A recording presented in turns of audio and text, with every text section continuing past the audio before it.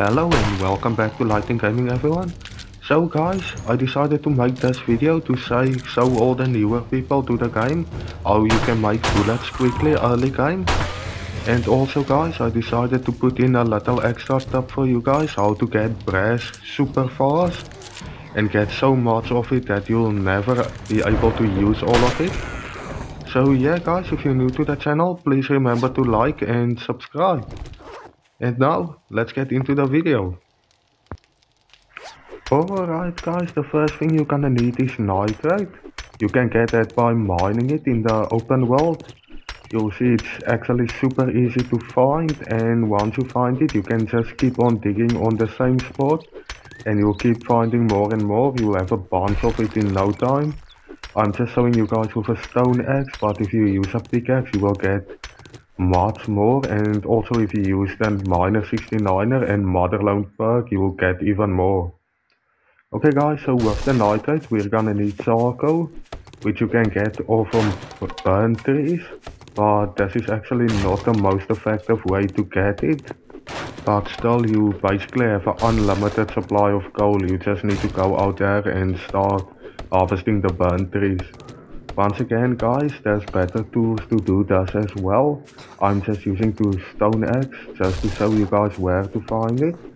So guys, once you have your coal and you have your nitrate, you can go into your inventory and you can start crafting gunpowder. Just remember guys, if you craft it in your hand, you're gonna be using two coal and two nitrate. But if you do it on a chem bench, you're only gonna be using one of each. So just keep that in mind when crafting the gunpowder. Now guys, this is the best way to get the charcoal. You'll see charcoal deposits all over the map as well, just like the nitrate. And it's just by far the most effective way to get it. If you use a decent pickaxe or something like that, you'll get way more than I'm getting right now. So you'll have a bunch of gunpowder in no time. Now guys, for the next one.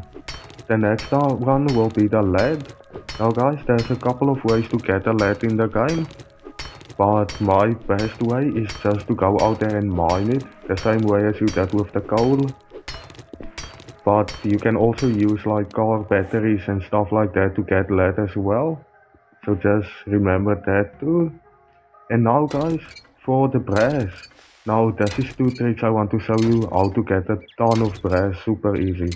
First way is to go to any car and start breaking it with the hands. You'll see every now and then a radiator will drop.